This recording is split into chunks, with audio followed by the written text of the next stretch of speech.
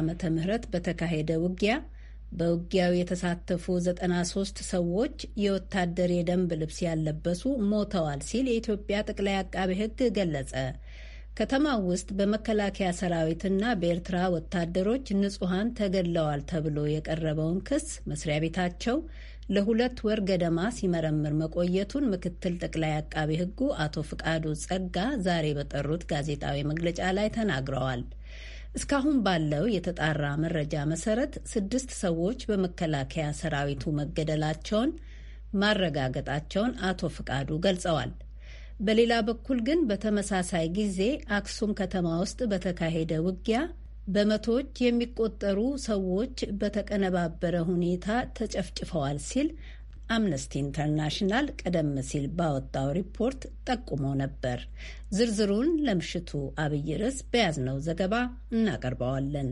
ኢትዮጵያ በቅርቡ የምታከናውነውን ምርጫ ለመከታተል ከዓለም አቀፍ እንዲሁም ከሀገራዊ ተቋማት የተውጣጡ ታዛቢዎች ኃላፊነታቸውን ለመወጣት ዝግጅታቸውን እየጨረሱ መሆናቸውን የኢትዮጵያ የውጭ ጉዳይ ሚኒስቴር አስታወቀ። የሚኒስቴሩ ቃል አቀባይ አምባሳደር ዲና ሙፍቲን የጠቀሰው ማብራሪያ የአውሮፓ ሕብረት የምርጫ ታዛቢዎችን የመላክ እቅዱን ቢሰርዝም የባለሙያዎች ልዑክ ለመላክ መወሰኑ ተገልጿል። የምርጫ ታዛቢዎች ተገቢነት ባለው የኢትዮጵያ ተቋም የተቀመጡ ሕግና ደንቦችን ያከብራሉ ተብሎ እንደሚጠበቅም ተገልጿል። ይህ በዚህ እንዳለ የሀገሪቱ ምክትል ጠቅላይ ሚኒስትርና የውጭ ጉዳይ ሚኒስትር ደመቀ መኮንን ከዩናይትድ ስቴትስ መንግስት የአፍሪካ ቀንድ ልዩ ልዑክ ጄፍሪ ፌልትመን ጋር መወያየታቸው ተሰምቷል። ውይይታቸው በትግራይ ክልል ወቅታዊ የሰብአዊ ድጋፍና የመልሶ ማቋቋም እንቅስቃሴዎች፣ የኢትዮጵያና ሱዳን ድንበር ጉዳይና የህዳሴ ግድብ ድርድር ላይ ያተኮረ እንደነበረ ተገልጿል። ሁለቱ ባለስልጣናት በውይይታቸው የውሃ ሙሌትና ከሱዳን ጋር ያለው የድንበር ውዝግብ በሰላማዊ መንገድ ሊፈታ እንደሚገባ አጽንኦት ሰጥተዋል ብሏል ሚኒስቴሩ በማስገንዘቢያው። በሁለቱ ሀገራት መካከል የቆየውን የረጅም ጊዜ ግንኙነት ማጎልበት ስለሚኖረው ጠቀሜታም ማውሳታቸው ተጠቅሷል። የኢትዮጵያ የንግድና የዘርፍ ማህበራት ምክር ቤት በኢትዮጵያ ከአሜሪካ የንግድ ማህበራት ምክር ቤት ጋር በትብብር ለመስራት ስምምነት ተፈራርመዋል። የመግባቢያ ሰነዱን የኢትዮጵያ የንግድና የዘርፍ ማህበራት ምክር ቤት ዋና ጸሐፊ አቶ የሱፍ አደም ኑርና በኢትዮጵያ የአሜሪካ የንግድ ማህበራት ምክር ቤት የቦርድ ፕሬዚደንት አቶ ኤርሚያስ እሸቱ ፈርመዋል። ስምምነቱ ምክር ቤቶቹ የግሉ ዘርፍ የሚያጋጥሙትን ችግር በጋራ ለመታገልና በተለያዩ ዘርፎችም ለመስራት ያለመ ሲሆን ንግድና ኢንቨስትመንትን ለማስፋፋት በትብብር ለመስራት በንግድ እንቅስቃሴ የሚያጋጥሙ የፖሊሲ የሕግና ሌሎች ችግሮች ለሚመለከታቸው የመንግስት አካላት ማቅረብና በመረጃ ልውውጥ በጋራ ከሚሰሩባቸው ዘርፎች መካከል እንደሚገኙባቸው ኢትዮጵያ የዜና አገልግሎት ያጠናቀረው ዘገባ ያመለክታል። ኬንያ ከሶማሊያ ጋር የሚደረጉ በረራዎችን በሙሉ ማቋረጧ ተገለጸ። ኬንያ ይህንን ያደረገችው ሁለቱ ሀገሮች ለአምስት ወራት ያህል ተቋርጦ የቆየውን የዲፕሎማሲ ግንኙነታቸውን ባደሱ በጥቂት ቀናት ውስጥ መሆኑ ነው። የኬንያ የሲቪል አቪዬሽን ባለስልጣን በሁለቱ ሀገሮች መካከል የሚደረጉ በረራዎች ጉዳተኞችን ለሕክምና ከሚያጓጉዙ በረራዎችና ከተባበሩት መንግስታት ድርጅት የሰብአዊ እርዳታ በረራዎች በስተቀር በሁለቱ ሀገሮች መካከል የሚደረግ በረራ በሙሉ እንደሚቋረጥ ለበረራ አባላት ሁሉ ማስታወቂያ ማሰራጨቱን ስማቸው እንዳይገለጽ የጠየቁ አንድ የሶማሊያ ባለስልጣን ገልጸዋል።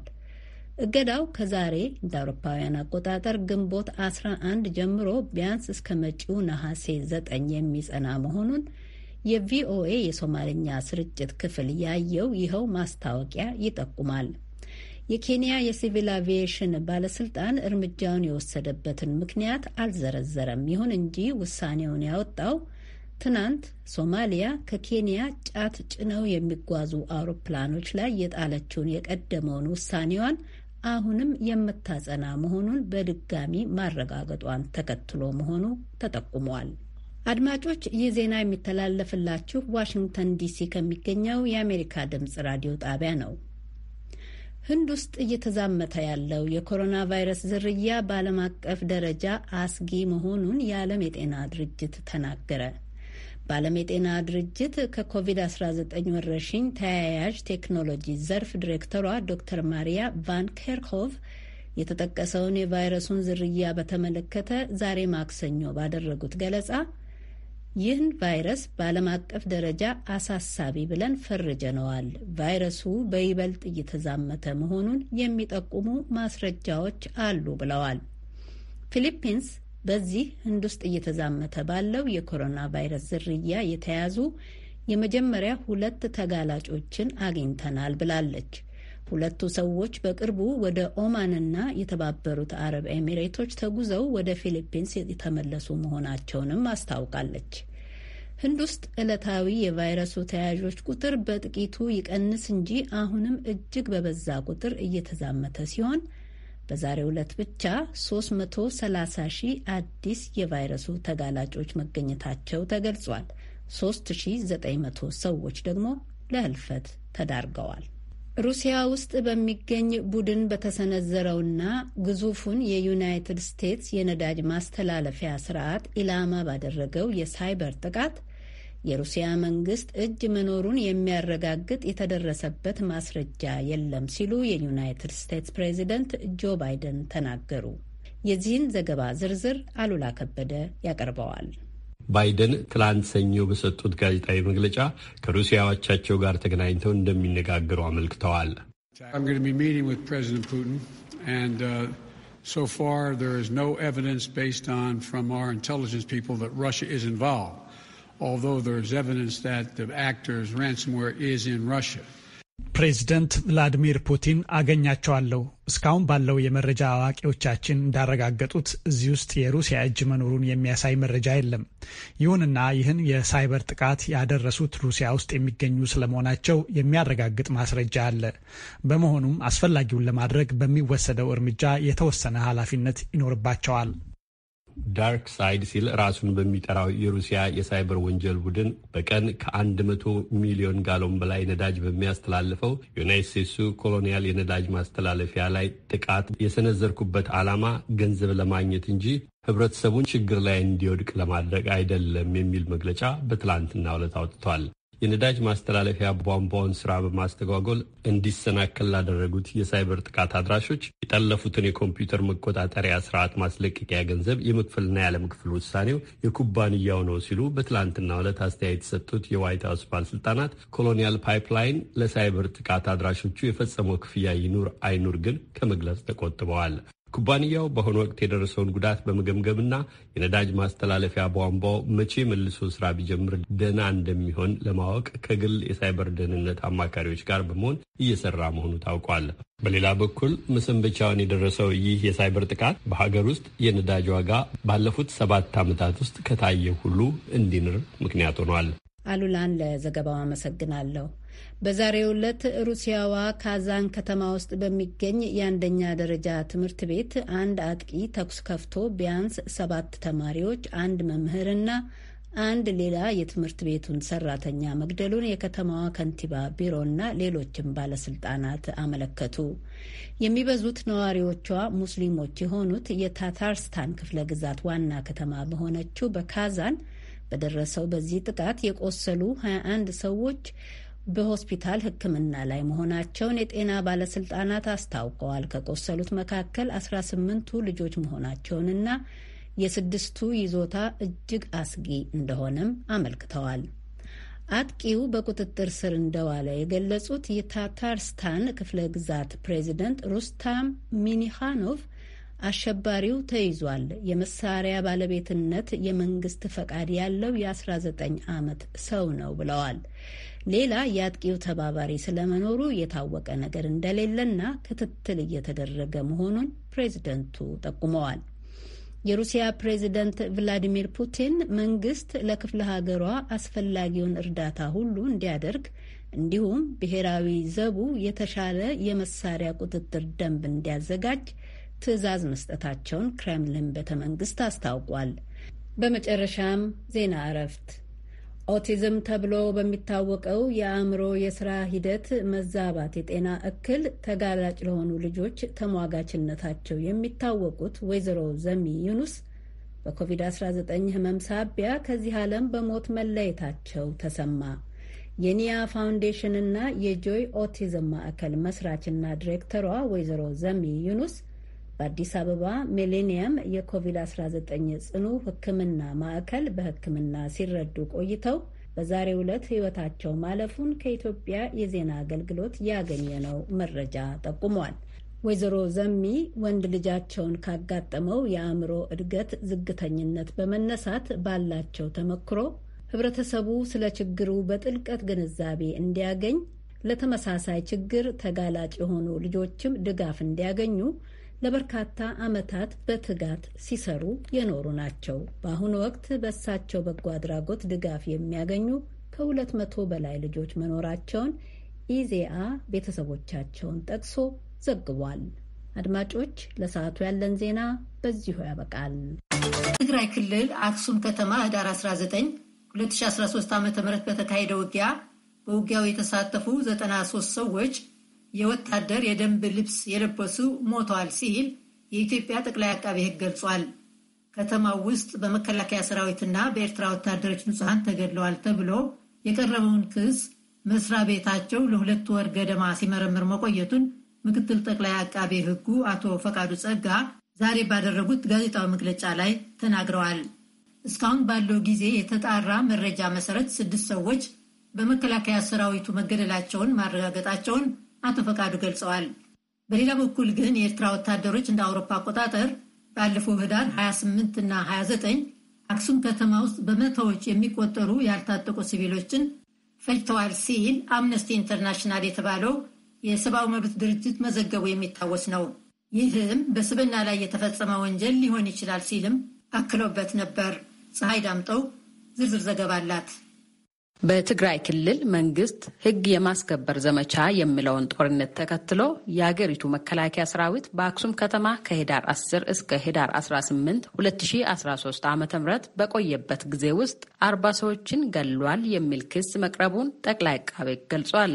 በዚህ ጉዳይ ላይ የፌዴራል ፖሊስ ኮሚሽንና ጠቅላይ አቃቤ ለሁለት ወር በጋራ ባደረጉት ምርመራ በመከላከያ ሰራዊት ስድስት ሰው መገደሉን ምክትል ጠቅላይ አቃቤ ሕግ አቶ ፍቃዱ ጸጋ አብራርተዋል። በእኛ ምርመራ ሂደት የፌዴሪ መከላከያ ሰራዊት ህዳር 10 ቀን 2013 ዓ ም ከተማውን ከተቆጣጠረበት እስከ ለተጨማሪ ግዳጅ የወጣበት ህዳር 18 ቀን በመከላከያ ሰራዊቱ የተነሳ በሲቪል ላይ የደረሰው ሞት ስድስት መሆኑን አረጋግጠናል። አራቱ ገና ህዳር 10 ከተማውን በመቆጣጠር ሂደት ላይ ባለበት ወቅት የተተኮሰ መድፍ ጥይት ኢላማውን ስቶ አንድ መኖሪያ ቤት ላይ በመውደቁ በአንድ መኖሪያ ቤት ውስጥ የሚገኙ አራት ቤተሰቦች በአንድነት የሞቱበት ነው። ሌላኛው እንዲሁ የመድፍ ጥይት ኢላማውን ስቶ ዩኒቨርሲቲ አካባቢ በመውደቁ በአንድ የሲቪል ሰው የሞተበትና ሁለት የዩኒቨርሲቲው ተሽከርካሪዎች የወደሙበት ሁኔታ መሆኑን በምርመራ ሂደት አረጋግጠናል። ተጨማሪ አንድ ሰው የሰዓት እላፊው ጋር በተያያዘ በሰዓት እላፊ እንቅስቃሴ ሲያደርጉ የነበሩ ሰዎችን ቁጥጥር ስር ከመዋል አንጻር ሲደረጉ በነበሩ የህግ ማስከበር ስራዎች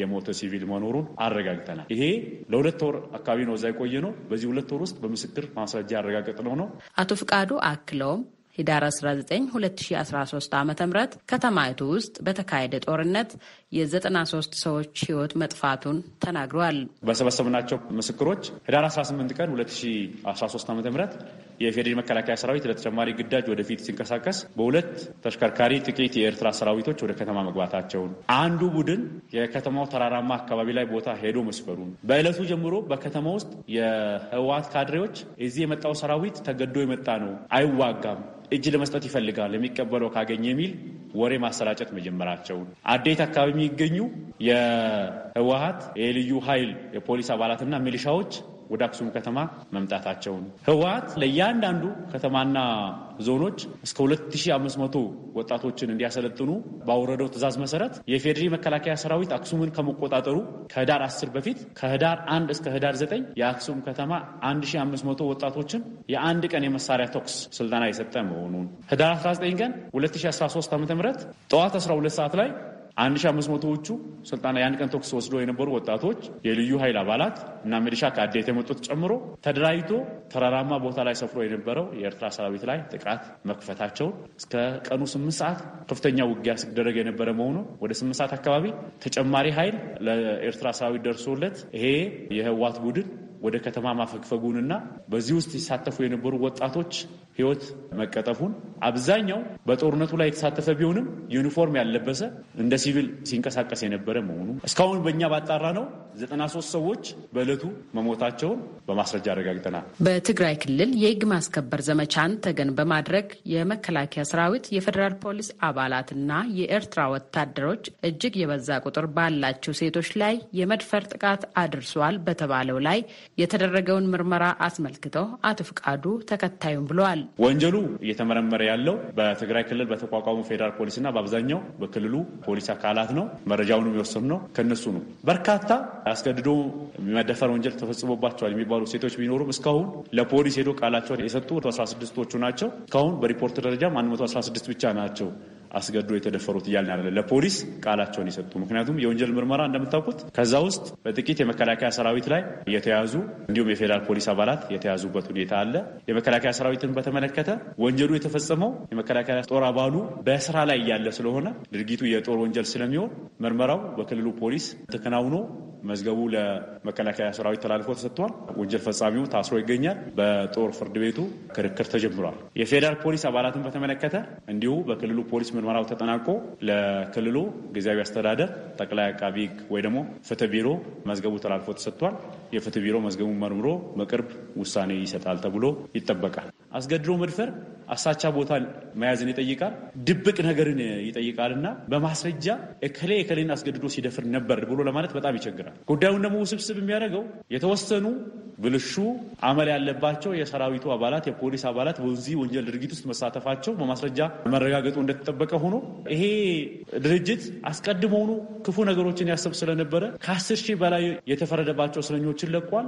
በአልመዳ ጨርቃጨርቅ የተሰራውን የኤርትራ ወታደሮች ዩኒፎርምን እንዲለብሱ ተደርጓል። እንዲሁም ከመከላከያ ሰራዊቱ የተዘረፉ ዩኒፎርሞች እንዲለብሱ ተደርጓል። ስለዚህ በግለሰብ የወንጀል ማድረግ ሀሳብ ውስጥ ያሉ የፌዴራል ፖሊስ፣ የመከላከያ ሰራዊት አባላት ወይም ደግሞ የኤርትራ ሰራዊት አባላት አልተገኙም ማለት አይደለም። ምርመራውን ግን ውስብስብ ከባድ አድርጎታል። በትግራይ ክልል አክሱም ከተማ ከህዳር 10 እስከ ህዳር 19 2013 ዓ ም በመከላከያ ሰራዊትና በኤርትራ ወታደሮች ተፈጽሟል የተባለውን ግድያ በተመለከተ ፌዴራል ፖሊስና ጠቅላይ አቃቤ በጋራ እያካሄዱ ባሉት ምርመራም የ95 ሰዎች የምስክርነት ቃሎች ተቀብለው የምርመራ ሂደቱ እንደቀጠለ መሆኑንም አቶ ፍቃዱ አስታውቋል። የኢትዮጵያ ሰብአዊ መብት ኮሚሽን በትግራይ ክልል አክሱም ከተማ ከህዳር 19 እስከ ህዳር 21 2013 ዓ ም ከፍተኛ የሰብአዊ መብት ጥሰቶች ተከስተዋል። ከአንድ መቶ በላይ ንጹሐን ዜጎች በኤርትራ ወታደሮች ተገድለዋል ሲል መግለጫ ማውጣቱ ይታወሳል። በተመሳሳይ አምነስቲ ኢንተርናሽናልም በበኩሉ በአክሱም ከተማ በመቶዎች የሚቆጠሩ ንጹሐን ዜጎች በመንገድ ላይ በኤርትራ ወታደሮች ተገድለዋል በማለት መግለጫ ማውጣቱ ይታወሳል። ለአሜሪካ ድምፅ ፀሐይ ዳምጦ አዲስ አበባ።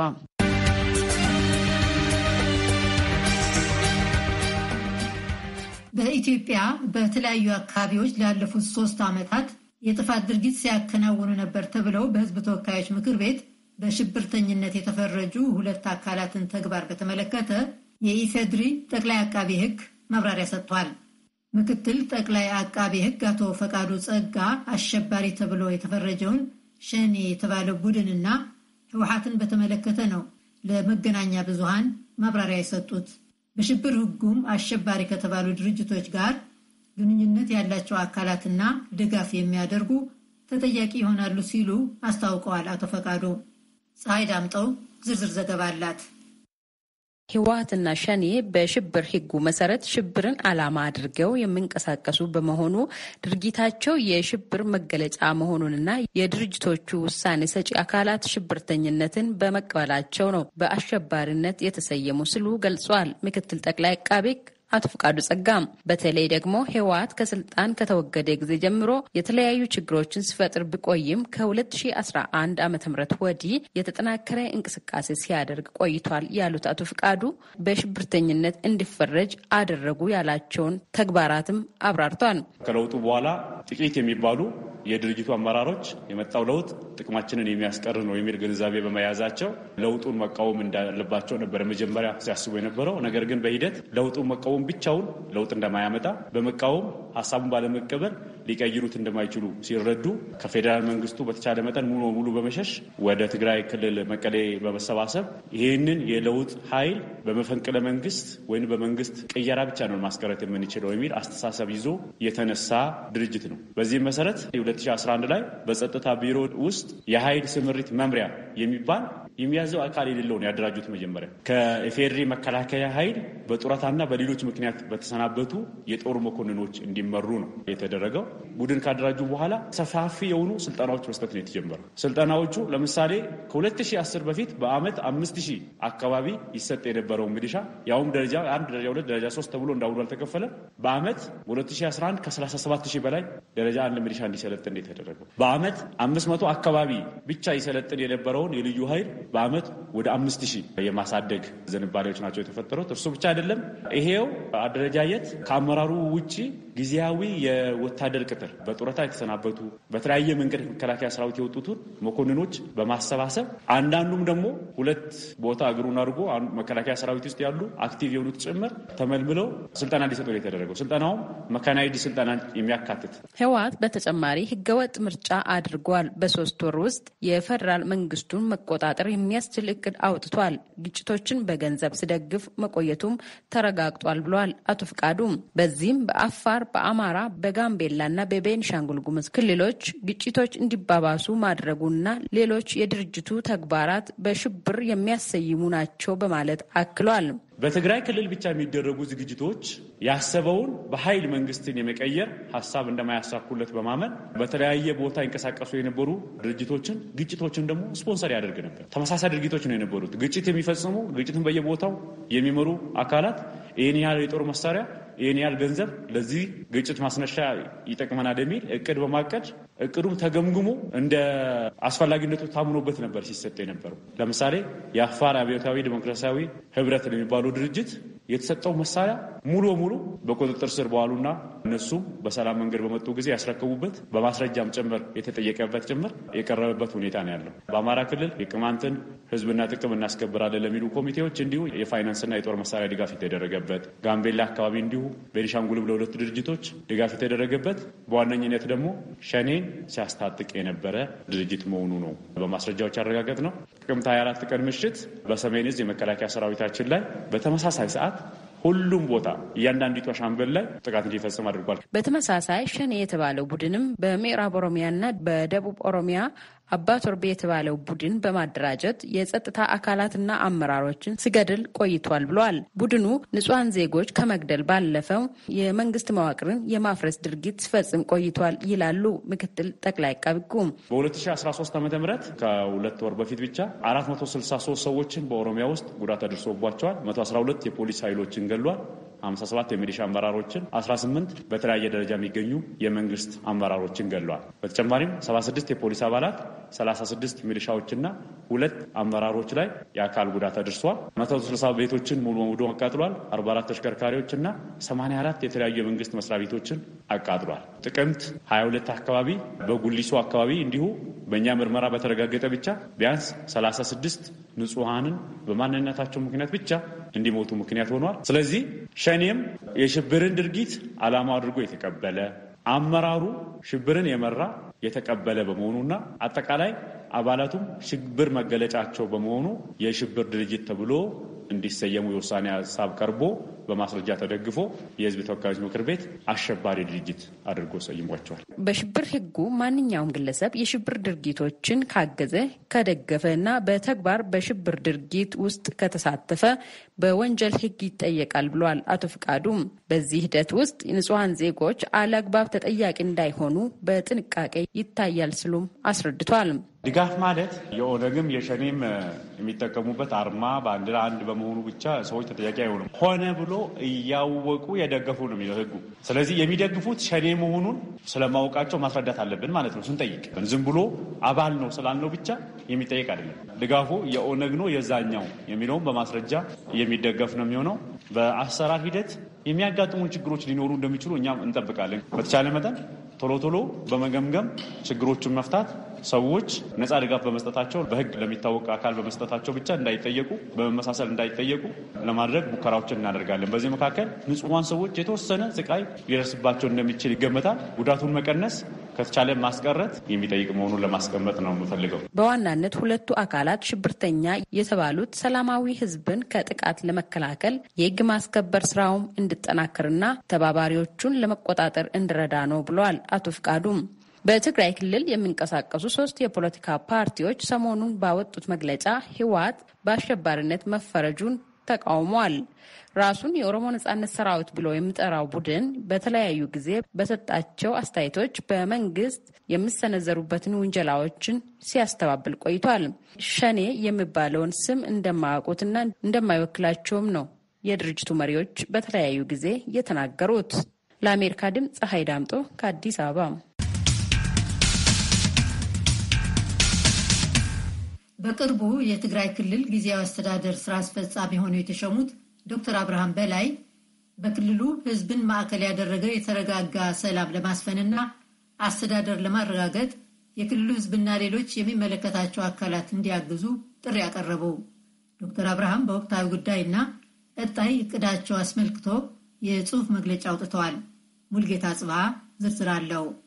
የትግራይ ክልል ጊዜያዊ አስተዳደር ስራ አስፈጻሚ ተብለው በጠቅላይ ሚኒስትር ዶክተር አብይ አህመድ ባለፈው ሳምንት የተሾሙት ዶክተር አብርሃም በላይ በዛሬው ዕለት በትግርኛና በአማርኛ ባወጡት መግለጫ በትግራይ የነበረ ሰላምና መረጋጋት ለመመለስ ያስችላል ያሉትን ሀሳቦች ገልጸዋል። ዶክተር አብርሃም በመግለጫቸው በትግራይ ክልል ከጥቅምት 24 2013 ዓ ም ጀምሮ በተከሰተ ግጭት መጠነ ሰፊ ጉዳቶች ደርሰዋል ብለዋል። ሞት፣ የአካል ጉዳት፣ የሰብአዊ መብት ጥሰት፣ መፈናቀል፣ ጥልቅ የስነ ልቦና ጉዳት፣ የንብረት ዘረፋ እንዲሁም መጥፋትና ውድመት፣ አላስፈላጊ መገፋፋትና የተካረሩ አመለካከቶች ያሉትን አደጋዎች በተመለከተ በግልጽ በመተማመን ተገቢውን ፍትህ መስጠት ይፈለጋል ብለዋል። የሚደርሰው ጉዳት በመቀነስና በመሻር እንዲሁም መሬት ላይ ያለውን ሁኔታ በተግባር በመቀየር በይቅርታ መንፈስና የቁርጠኛ የሰላም ወዳድነት ማረጋገጫ እርምጃዎች በመውሰድ ለማገልገል ዝግጁ ነኝ ብለው ይህንንም ለመተግበር የህዝብና ሌሎች አካላት ድጋፍ ጠይቀዋል። በትግራይ ክልል ያለው ነባራዊ ሁኔታ በሙሉ ስዕልና ሚዛናዊ አተያይ በመመልከት በድፍረት መፍትሄ ማቅረብ ያስፈልጋል ብለዋል ዶክተር አብርሃም በላይ። የህግ ማስከበር ዘመቻ ብለው የጠሩት በክልሉ የተከሰተው ግጭት በፌዴራል መንግስት የተወሰዱ እርምጃዎች የመንግስት ህጋዊ ኃላፊነትና ግዴታዎች ለመወጣት የተፈጸሙና በሰላምና ጸጥታ ኃይላት የተሰሩ ስራዎችም በሀገር አንድነት እና ሰላም ላይ የተቃጡ አደጋዎችን ለመቀልበስ አስፈላጊነታቸው ታምኖባቸው የተፈጸሙ ግዳጆች ናቸው ብለውታል። ባለፉት ስድስት ወራት በትግራይ ራሳቸው መከላከል የማይችሉ ዜጎች በታጣቂ ኃይሎች የተፈጸሙ ናቸው በተባሉ እርምጃዎች የበርካታ ንጹሆች ደም ፈሰዋል። ዜጎች ለአካል ጉዳተኝነት ተዳርጓል።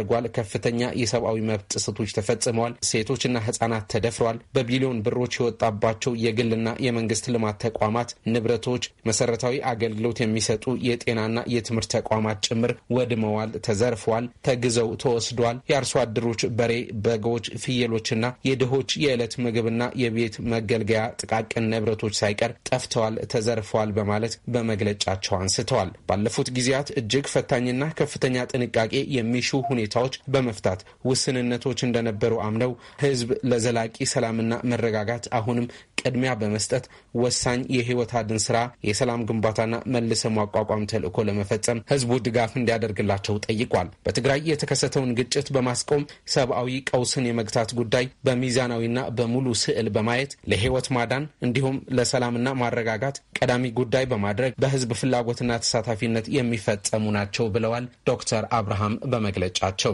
በትግራይ በተከሰተው ችግር ላይ በግልጽ ወጥቶ ለመናገርና ሁኔታው በሚቀይር ስራ በመሳተፍ የመፍትሄ አካል የመሆን ጉዳይ የፖለቲካና የዘር ወገንተኝነት አይጠይቅም ያሉት ዶክተር አብርሃም በመደበኛና በማህበራዊ መገናኛ ብዙሀን ከሚቀነቀኑ ተንኳሽ ንግግሮችና በቅርብ የተለመዱ መጠሪያዎቹም ከመጠቀም መቆጠብ ይገባል ብለዋል። ለኢትዮጵያ ሕዝቦች ብለው ባስተላለፉት መልእክት ሰላም የጀግኖች አጀንዳ ነው በማለት ገልጸዋል።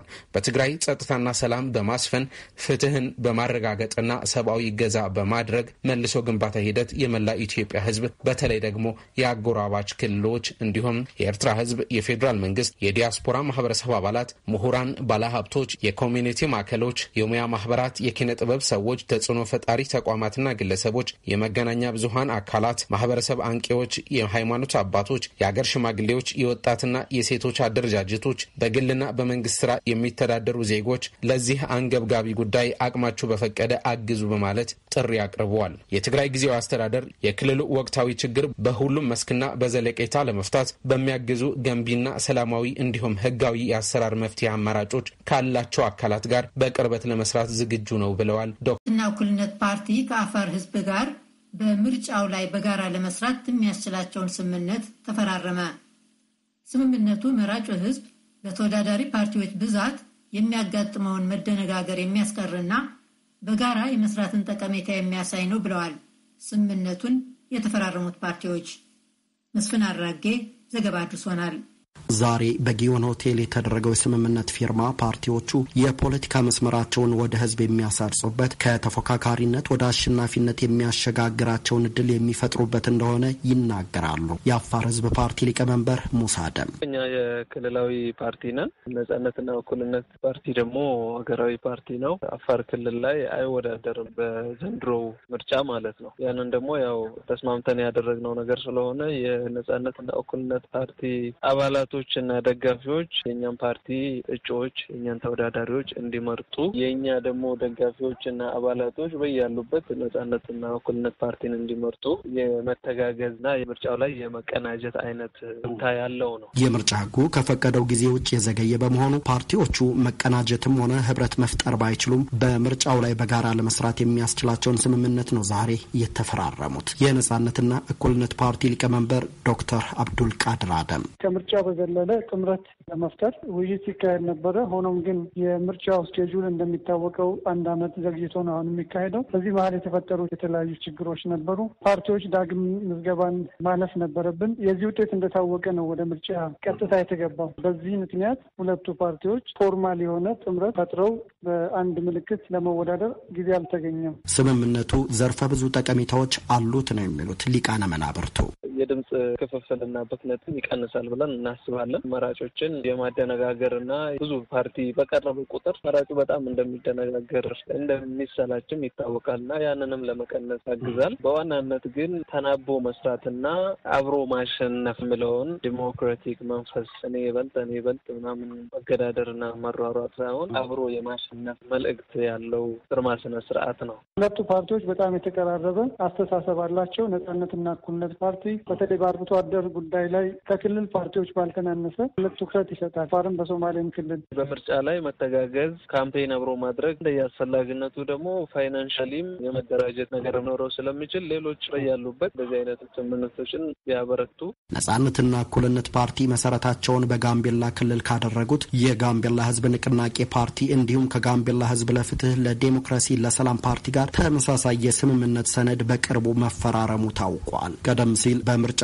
ቦርድ ፈቃዳቸው የተሰረዘባቸውና በሶማሌ ክልል የሚገኙ 163 የተፎካካሪ ፓርቲ እጩዎች በነጻነትና እኩልነት ፓርቲ ስም እንደሚወዳደሩም ዶክተሩ አክለው አብራርተዋል። የምርጫ ውጤትን ታሳቢ ያደረገ ውህደትም ሆነ ስምምነት በፖለቲካ ስኬትም በአገር ህልውና ላይም የሚኖረውን በጎና አሉታዊ ተጽዕኖዎች ፓርቲዎች ቀድመው መመርመር ይገባቸዋል የሚል ማሳሰቢያ ከወሎ ዩኒቨርሲቲው የሰላምና ልማት ምሁሩ ሙልጌታ ተስፋዬ ተሰንዝሯል። እንደኛ ሀገር ባሉ በጣም በርካታ ፓርቲዎች ባሉበት ሀገር ጊዜያዊ ጥምረቶች በእጅጉ ይበረታሉ። እነዚህም ጊዜያዊ ጥምረቶች ጊዜያዊ አጀንዳ ላይ የተመሰረቱ ናቸው። ይሄ የፖለቲካ እድገቱን ለማራመድ ተጽዕኖ ይኖረዋል። በሌላ በኩል ግን ይነስም ይብዛም ህዝብ ድምፁን ከሚከፋፍል ይልቅ ልዩነታቸውን አቻችለው አጀንዳውን ሊቀበሉ የሚችሉ ፓርቲዎችን ድምፅ ለመስጠት ስለሚጠቅም ፓርቲዎችም ይህም ስለሚያውቁ በተቻለ አቅም ሰብሰብ ብለው የጋራ ጥምረት ፈጥረው ድምፅ ለመሰብሰብ ይሞክራሉ። የህዝብን ድምፅ ይዘው ወደ ፓርላማ መግባታቸው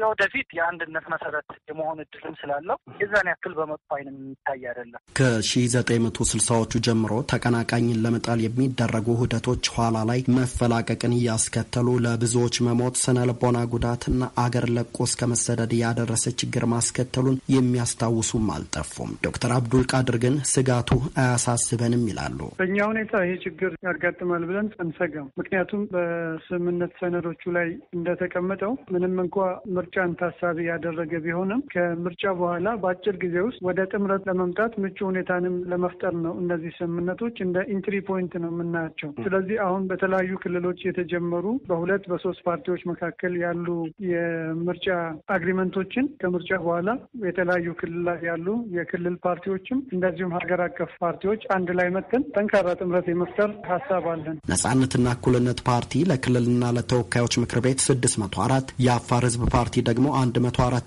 እጩዎችን ማቅረባቸውን ሊቃነ መናብርቱ በተለይ ለአሜሪካ ድምጽ ሬዲዮ በሰጡት መግለጫ አረጋግጠዋል። ለአሜሪካ ድምጽ ሬዲዮ መስፍን አራጌ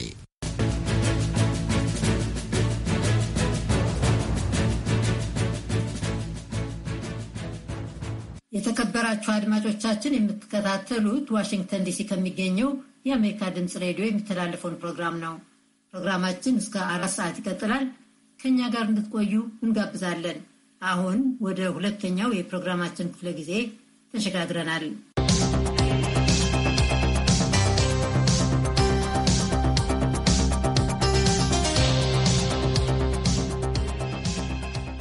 የኢትዮጵያ ኦርቶዶክስ ተዋሕዶ ቤተ ክርስቲያን ፓትርያርክ ብፁዕ ወቅዱስ አቡነ ማትያስ ሰሞኑን የሰጡት አስተያየት በተመለከተ አመለካከታቸውን እንዲገልጹልን ሁለት እንግዶችን ጋብዘናል።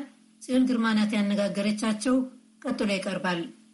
የኢትዮጵያ ኦርቶዶክስ ተዋሕዶ ቤተ ክርስቲያን ፓትርያርክ ብፁዕ ወቅዱስ አቡነ ማትያስ በሰጡትና ሾልኮ የወጣ ነው በተባለው አስተያየት በሀገራችን ኢትዮጵያ በተለይም ደግሞ በትግራይ ክልል እየተካሄደ ያለው የአረማዊነት ስራ እንዲቆም ብዙ ሞክሬ አልተሳካም ብለዋል። በኦሮሚያ፣ በቤንሻንጉል፣ በሸዋሮቢት በልዩ ልዩ አካባቢዎች ችግር መኖሩንም ጠቅሰው ነገር ግን የትግራይን ያህል አይደለም። የትግራይ ክልል እጅግ የከፋና ጭካኔ የተሞላበት ነው። ይህንንም አለማውቆታል ብለዋል። በትግራይ ሕዝብ እያለቀሰ ነው። ሴቶች እየተደፈሩ ነው። ሰዎች ሕይወታቸውን ንብረታቸውንና መብታቸውን አጥተው በፍርሃት እየኖሩ ነው ካሉ በኋላ ገበሬዎች እርሻ እንዳያርሱ ተከልክለዋል ብለዋል።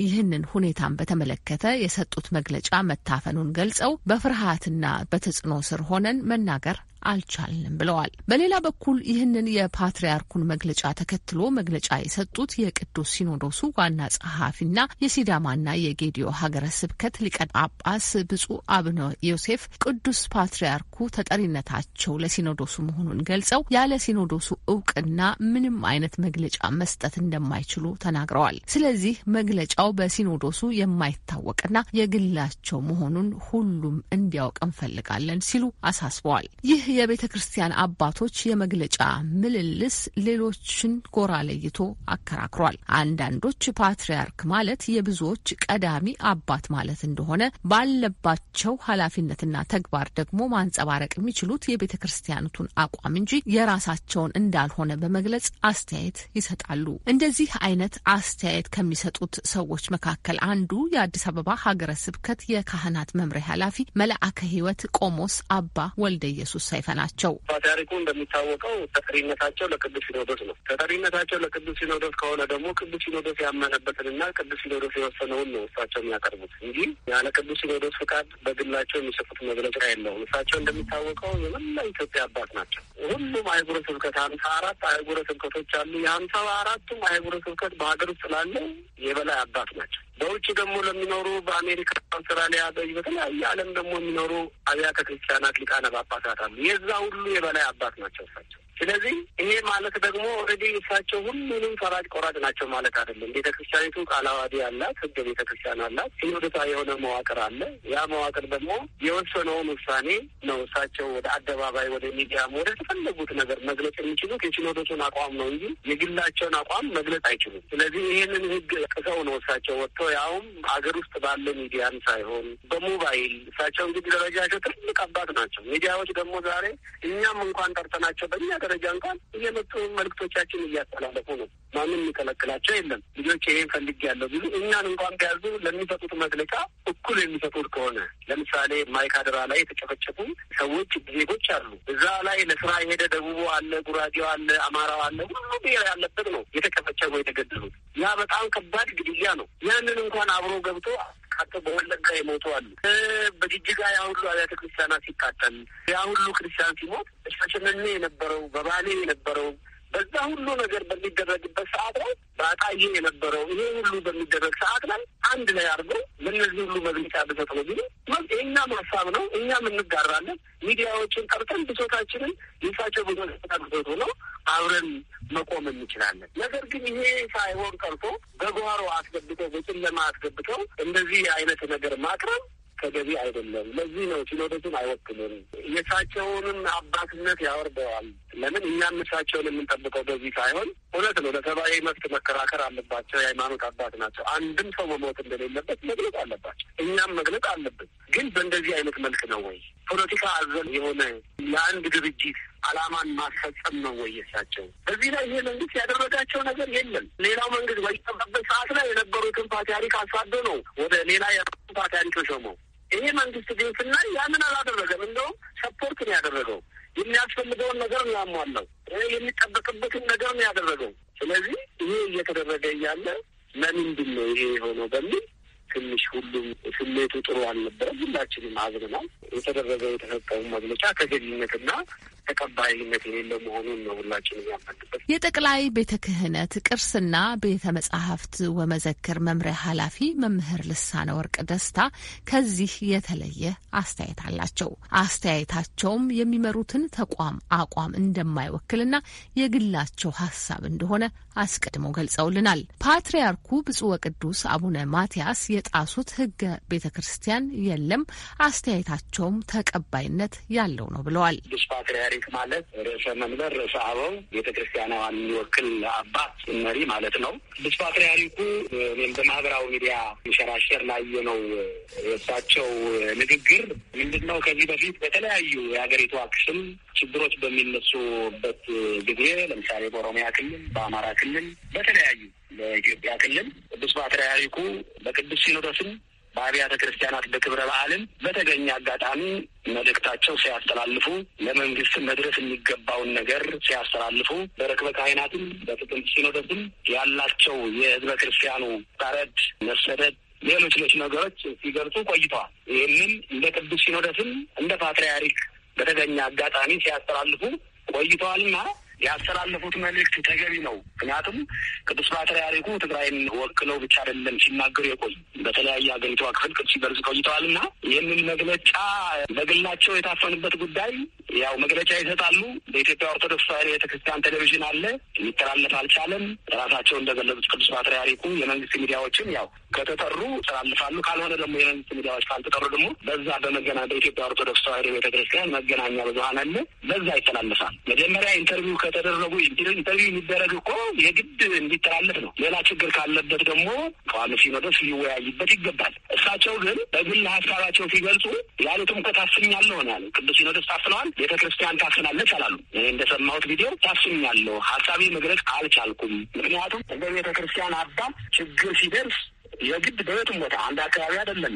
የዘረኝነት ጉዳይ የትውልድ ጉዳይ አይደለም። እሳቸው የአንድ አካባቢ አባት አይደለም። የመላ ኢትዮጵያን የመላ ኢትዮጵያ ኦርቶዶክስ ቤተክርስቲያን አባት ናቸው። ስለዚህ በግሌ ታፍኛለሁ ነው ያሉትና ስለዚህ በግል ለሚሰጡ ነገር የሚታፈን ከሆነ በሌላ አካል ሳንሱር የሚደረግ ከሆነ ሀሳባቸው መግለጻቸው ትክክል ነው ያለ በኔ በኩል እንግዲህ ይሄን ትክክል ነው ካሉ እና ለመናገር እንደው የሚከለክላቸው ነገር የለም። በየአብያተ ክርስቲያናቱ በተገኙበት ሁሉ ይሄንን ሀሳብ ማንጸባረቅ ይችላሉ የሚል አስተያየት ከሰጡ ይሄ መግለጫ የወጣው በተለየ ሁኔታ ተቀርጾ ከዛ ደግሞ ከወጣ በኋላ እንደተሰራጨ ነው የተመለከት ነው እና በዚህ ገለጻ ላይ እንደተናገሩት በጣም ብሶት እንዲሰማቸው የሚያደርግና እንዲህ ደግሞ ተሾልኮ ተቀርጾ እንዲወጣ የሚያስገድድ ሁኔታስ አለ ወይ? በስልክ ካሉበት መግለጽ የሚቻልበት ሁኔታ ካለ በየትም እንዳሉት በየአድባራቱ በሄዱ ጊዜ ይህንን ሀሳብ ማንጸባረቅ ከቻሉ በዚህ ሁኔታ የሚያስገድደው ምንድን ነው? ተሾልኮ ተቀርጾ እንዲወጣ የሚያደርግ በቤት ተቀርጾ ከሚወጣ ባገኙበት አጋጣሚ በየአደባባይ በየአውደ ምሕረቱ ለምን አልተናገሩም የሚሉት እያሉ እኮ ነው። ታፍኛለሁ እያሉ በአደባባይ ከተናገሩ ይህንን ንግግር ከተነ አፋኝ ኃይሉ እኮ ይህንን በአደባባይ ከተናገሩማ የባሰ በህዝበ ክርስቲያኑ በሀገሪቷ የባሰ ብጥብጥ ይመጣል። በአደባባዩ በአውደ ምሕረቱ ማለት እኮ በዛ በአደባባዩ ያሰሩት ሀሳብ ቢናገሩማ የባሰ ብጥብጥ ያመጣል። በእርግጠኝነትም ታፍኛለሁ የሚሉት እኮ መናገር አልቻልኩም ያሰብኩበት ሀሳብ ማስተላለፍ አልቻልኩም እያሉ ድጋሜ ያለ ፕሮግራም ሌላ ጉዳይ ከተላለፈማ ሌላ ችግር ያመጣል ብለው ይሆናሉ። እንግዲህ የቅዱስ ፓትርያርኩ ችግር እኔ በደንብ አላውቀውም።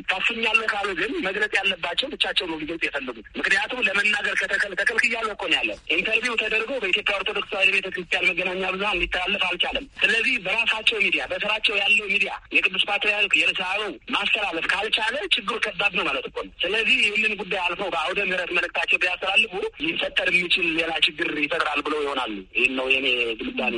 አድማጮች፣ ጥያቄዎቻችንና ምላሻቸው አልተጠናቀቀም። ትግራይ ክልል ለስድስት ወራት ያህል በክልሉ ኃይሎችና በኢትዮጵያ እንዲሁም በኤርትራ ወታደራዊ ቅንጅት ተባባሪዎቻቸው ሚሊሻዎች ተጨምረውበት በሚካሄደው ውጊያ ስትታመስ ቆይታለች። የውጊያው መቀጠል የእርሻ ጊዜን ሊያሰናክል ይችላል በሚባልበት በአሁኑ ወቅት ሰፊ የረሃብ ሁኔታ ሊከሰት ይችላል የሚል ስጋት እንዳለ ታውቋል። የእንግሊዝኛ ክፍል ባልደረባችን ጄሰን ፓቲንኪን ስለ ጉዳዩ እንዲተነትኑ ፕሮፌሰር አሌክስ ዴዋልን አነጋግሯል። ፕሮፌሰር አሌክስ ዴዋል ማሳቹሴትስ በሚገኘው ታፍትስ ዩኒቨርሲቲ የዓለም ሰላም ተቋም ዋና ስራ አስኪያጅ ሲሆኑ በአፍሪካ ቀንድ የሰብአዊ ቀውስና የረሃብ ሁኔታ ጠቢብ ናቸው። ዝርዝር ዘገባው ቀጥሎ ይቀርባል። አሌክስ ዴዋል በትግራይ ክልል ስላለው ሁኔታ በማብራራት ይጀምራሉ።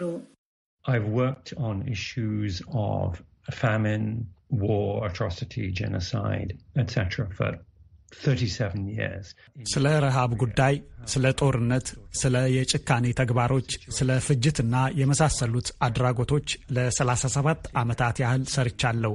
ለመኖር የሚያስፈልጉና ወሳኝ የሆኑት ነገሮች ስፋት ባለው ስልታዊ መንገድ እንዲህ ሙሉ በሙሉ የወደሙበት ሁኔታ በስራ ዓለሜ ገጥሞኝ አያውቅም። ይህ ሰው ሰራሽ ረሃብ ብቻ ሳይሆን በከፍተኛ ደረጃ የሚደረግ የማስራብ ወንጀል ነው። በአሁኑ ወቅት ትግራይ ውስጥ ረሃብ ገብቷል አልተባለም። ትግራይ ያለው የድንበር አልባ ሐኪሞች ቡድን በተናገረው መሰረት አንዱ አመላካች የሆነው የተመጣጠነ ምግብ እጥረት ከአስቸኳይ ሁኔታ መስመር በላይ ነው። አስቸኳይ ሁኔታ ሲባል ደግሞ ከረሃብ በአንድ ደረጃ ዝቅ ያለ ነው። የድንበር አልባ ሐኪሞች ሰራተኞች ሊገቡባቸው በቻሉት ቦታዎች የሚሞቱት ሰዎች ቁጥር በረሃብ ደረጃ ሊቀመጥ አይችልም ማለታቸው ተገልጿል። ፕሮፌሰር ደወል ግን ለየት ያለ አመለካከት አላቸው። unavoidable under the current situation. There are, according to the United Nations, between 4.5 and 5.2 million people. አሁን ባለው ሁኔታ ረሃብ መግባቱ የማይቀር ነገር ነው። የተባበሩት መንግስታት ድርጅት በገለጸው መሰረት ከ4.5 እስከ 5.2 ሚሊዮን የሚሆኑ ሰዎች አስቸኳይ ሰብአዊ ረድኤት ያስፈልጋቸዋል። ከነሱም አንድ ሚሊዮን ገደማ የሆኑት ናቸው ረድኤት የሚያገኙት። እርዳታ ያስፈልጋቸዋል ከተባሉት አብዛኞቹና እጅግ በጣም ሊረዱ ይገባል የሚባሉት ሰዎች ዓለም አቀፍ ረድኤት ሊያገኙ ከሚችሉበት ቦታ ርቀው ያሉ ናቸው። የድንበር አልባ ሐኪሞች ሰራተኞች በጤና ጣቢያቸው የሚያዩዋቸው ሰዎች ተደራሽነት ያላቸው ናቸው። በሌሎች አካባቢዎች ያለውን አስከፊ ሁኔታ እያዩ አይደለም። ከሳምንታት በኋላ ሁኔታው እየተባባሰ መሄዱ የማይቀር ነገር ነው። ፕሮፌሰር አሌክስ ደወል አያይዘውም ሆን ተብሎ የሚደረግ ነው ላሉት ምን ማስረጃ አሉት ለሚለው ጥያቄ Despite the information blackout, enough information has leaked out about the deliberate destruction of foodstuffs, the vandalization, destruction of clinics. መረጃ እንዳይወጣ የታፈነ ቢሆንም ለምግብነት የሚያገለግለው ሁሉ ሆን ተብሎ እንደወደመ፣ የጤና ጣቢያዎች እንደተንኮታኮቱ፣ ስራ የማግኘቱ እድል እንደፈረሰ ለማወቅ የሚያስችል መረጃ ሾልኮ መውጣቱ አልቀረም። አስገድዶ የመድፈርና የወሲብ ጥቃት ደረጃም እጅግ ከፍተኛ ነው። ይህም የማስራብ ተግባር ነው። ምክንያቱም በመደፈር ስጋት ምክንያት ብዙ ሴቶችና ልጃገረዶች ለመኖር ወሳኝ የሆኑ ተግባሮችን ለማከናወን አልቻሉም። ምግብ ፍለጋ አይወጡም፣ ገበያ አይሄዱም። የራሳቸውንና የቤተሰባቸውን ሕይወት ለማትረፍ የሚያስፈልግ እርዳታ ለማግኘት እንኳ ለመውጣት ይፈራሉ። የኢትዮጵያ መንግስት ለዚህ ጉዳይ የሚለው ነገር አለ። ድርጅቱ ባለፈው ወር ሆን ተብሎ የትግራይን ሕዝብ ለማስራብ ዘመቻ ይካሄዳል ባለበት ወቅት መንግስት ለብሪታንያ የዜና ስርጭት ኮርፖሬሽን ቢቢሲ በሰጠው መግለጫ የእርስዎ አባባል መሬት ላይ ካለው ሀቅ የራቀ ነው ብሏል። ለችግሩ ተጠያቂው መንግስት ሳይሆን ህወሓት ነው። ምክንያቱም ህወሓት ከመኸር በፊት የኢትዮጵያ ሰሜን እዝን አጥቅቷል። ህወሓት በተጨማሪም ከከተሞች ባፈገፈገበት ወቅት ሆን ብሎ መሰረተ ልማትን አፍርሷል ብሏል እና የእርሱ አመለካከት ምንድን ነው ለሚለው ጥያቄ ፕሮፌሰር ደወል First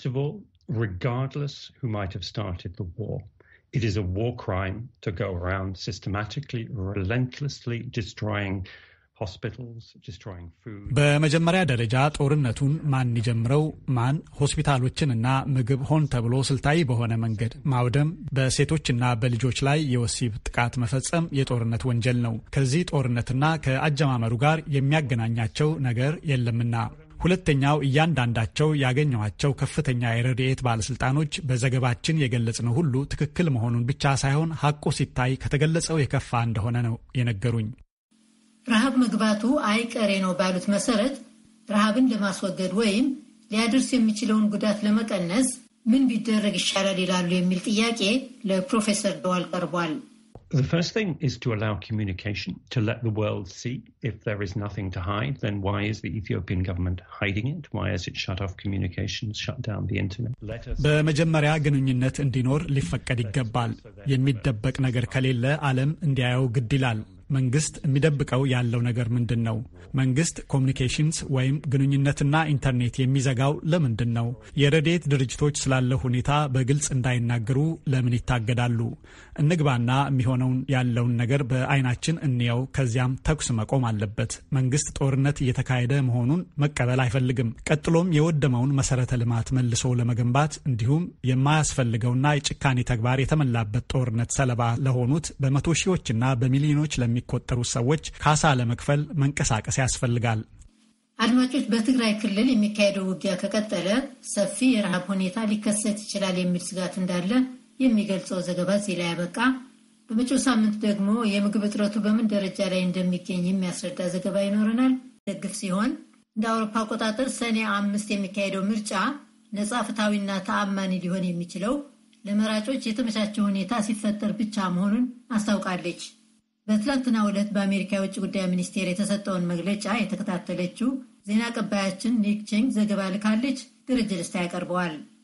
መግለጫው የወጣው በሰሜን ኢትዮጵያ በትግራይ ክልል ያለው ሰብአዊ ቀውስና ግጭት እየተካሄደ ባለበት ሁኔታ ውስጥ መሆኑ ተመልክቷል። የዩናይትድ ስቴትስ የውጭ ጉዳይ ሚኒስትር አንቶኒ ብሊንከን ኢትዮጵያና ኤርትራ የኤርትራ ወታደሮች ከትግራይ አሁኑኑ ሙሉ ለሙሉ ሊረጋገጥ በሚችል መልኩ ለቀው እንዲወጡ በሰጡት መግለጫ ብርቱ ግፊት አድርገዋል። የኢትዮጵያ ጠቅላይ ሚኒስትር አብይ አህመድ ባለፈው መጋቢት ወር ኤርትራ ከትግራይ ክልል ኃይሎቿን ለማስወጣት መስማማቷን ገልጸው ነበር። ጠቅላይ ሚኒስትር አብይ ወደ ኤርትራ በማምራት ከፕሬዝደንት ኢሳያስ አፈወርቂ ጋር ተገናኝተው ኤርትራ ለቃ እንደምትወጣ ያረጋገጠችላቸው መሆኑን ያስታወቁ ቢሆንም ዩናይትድ ስቴትስ ባለስልጣናት ግን እስከ ዛሬ ድረስ ኤርትራ ለቃ ስለመውጣቷ ምንም ማረጋገጫ አለመኖሩን ተናግረዋል።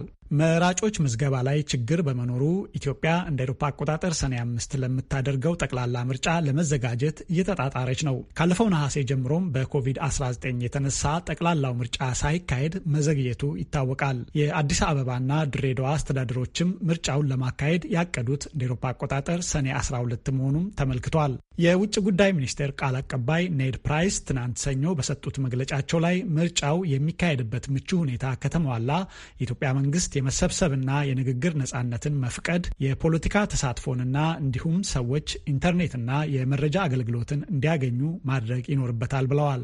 አያይዘውም የፖለቲካ ፓርቲዎችም ሁከትና ጥቃትን ማበረታታት እንደሌለባቸው እናውቃለን። የጸጥታ አስከባሪ ኃይሎችም የኃይል እርምጃዎችን መውሰድና በተቃዋሚዎች ላይ የማስፈራሪያ ስልቶችን መጠቀም የለባቸውም ብለዋል። ቃል አቀባዩ ከቪኦኤ ለቀረበላቸው ጥያቄ በሰጡት መልስ ከዓለም አቀፍ አጋሮቻችን ጋር ምርጫውን ተከትሎ ሁከትና ጥቃትን ለማስወገድ በማህበረሰቡ መካከል መነጋገር እንዲኖር እናበረታታለን ብለዋል። ይሁን እንጂ የውጭ ጉዳይ ሚኒስቴር አሁን ባለው ሁኔታ ምርጫው ሊካሄድ ይችላል ብሎ ስለማመን አለማመኑ የገለጸው ነገር የለም። በኢትዮጵያ የቀድሞ የዩናይትድ ስቴትስ አምባሳደር የነበሩት ዴቪድ ሺን ለቪኦኤ እንደተናገሩት በትግራይ ክልል ምርጫውን ለማካሄድ አይቻልም። ከትግራይ ውጭም ኢትዮጵያ ውስጥ የሰኔ አምስቱ ምርጫ የሚያዋጣ ስለመሆኑ የሚያሳስቡ አንዳንድ ተጨባጭ ስጋቶች አሉ ብለዋል። የሚታዩ አለመረጋጋቶችና በውጭ ታዛቢዎች ላይ የተጣሉ ገደቦች የምርጫው ሂደት ላይ አንዳንድ ጥያቄዎችን እንዲያነሱ አድርገዋል። እንደ አውሮፓ አቆጣጠር ግንቦት ሶስት የአውሮፓ ህብረት ከፍተኛ ተወካይ የሆኑት ጆሴፍ ቦረል በሰጡት መግለጫ ቁልፍ በሆኑ ጉዳዮች ላይ ስምምነት ባለመደረሱና አስፈላጊ ሁኔታዎች ያልተሟሉ በመሆናቸው ወደ ኢትዮጵያ የሚሄዱት የምርጫ ታዛቢዎችን የመላኩ እቅድ የተሰረዘ መሆኑን አስታውቀው ነበር። ይሁን እንጂ የኢትዮጵያ የውጭ ጉዳይ ሚኒስቴር ቃል አቀባይ ዲና ሙፍቲ በዛሬው ዕለት በሰጡት መግለጫ ደግሞ የአውሮፓ ህብረት ስድስት ታዛቢዎችን ለመላክ መስማማቱን አስታውቀዋል። ትናንት ሰኞ ዩናይትድ ስቴትስ ከሁለቱም የዴሞክራትና ሪፐብሊካን ፓርቲ ወገኖች የሆኑት የህዝብ ተወካዮች ምክር ቤት አባላት ደግሞ በጋራ ባወጡት መግለጫ ትግራይ ውስጥ ያሉ የኤርትራ ኃይሎች ጉዳይ አሁንም እጅግ ያሳሰባቸው መሆኑን አስታውቀዋል። በዩናይትድ ስቴትስ ተወካዮች ምክር ቤት የውጭ ጉዳይ ኮሚቴ ሊቀመንበር ማይክ መካውል ስለዚሁ ሲናገሩ ግጭትና ጠበኝነትን አስወግዶ ሁሉን አሳታፊ ወደሆነ የፖለቲካ ንግግር ሊያመጣ የሚችለው ወታደራዊ እርምጃ አይደለም። አሁንም ትግራይ ውስጥ ያሉት የኤርትራ ወታደሮች በክልሉ የሚፈጽሙት የሰብአዊ መብት ጥሰት ግጭቱን ለማስወገድ ትልቁ እንቅፋት እንደሆነ ቀጥሏል ብለዋል። ዩናይትድ ስቴትስ የጠቅላይ ሚኒስትር አብይ አህመድ መንግስት በትግራይ የሚደረገውን ግፍ እንዲያቆም እንዲያደርጉ ጫና ለማሳደር ከሰብአዊ ድጋፍ ውጭ ያለውን እርዳታ ማቋረጧን የምትቀጥልበት መሆኑም ተመልክቷል። የውጭ ጉዳይ ሚኒስቴር ግን ለአገሪቱ የሚሰጠውን የሰብአዊ እርዳታ መስጠቱን የሚቀጥልበት መሆኑን አስታውቋል። የውጭ ጉዳይ ሚኒስቴር ቃል አቀባይ ፕራይስ ይህን ሲገልጹ ለኢትዮጵያ እርዳታውን ለመስጠት ስናስብ በዚያች ሀገር መከራ ውስጥ በሚገኘው የትግራይ ሕዝብ ላይ ሌላ ተጨማሪ ጫና የሚያሳድር ነገር ማድረግ አንፈልግም። እንዲያውም ወደፊት የበለጠ ልናግዛቸው የምንችልበት መንገድ መኖሩን ማረጋገጥ እንፈልጋለን ብለዋል። በቅርቡ ለንደን ውስጥ የተገናኙት የቡድን ሰባት የበለጸጉ አገራት የውጭ ጉዳይ ሚኒስትሮች ከተነጋገሩባቸው ጉዳዮች አንዱ የትግራይ ጉዳይ ነበር። የውጭ ጉዳይ ሚኒስትሮቹ ባወጡት የጋራ መግለጫ ሁሉም ወገኖች ግጭቱን በአስቸኳይ እንዲያቆሙ፣ የሰላማዊ ዜጎች ደህንነት መጠበቁን እንዲያረጋግጡ፣ ዓለም አቀፉን የሰብአዊ መብትና ዓለም አቀፍ ሕግጋትን እንዲጠብቁ፣ የሚዲያ ነጻነትና ተደራሽነት እንዲኖር፣ አስገድዶ መድፈርና ጥቃትን ጨምሮ በሰብአዊ መብት ጥሰትና ጥቃት የፈጸሙት ሁሉ ተጠያቂ እንዲሆኑ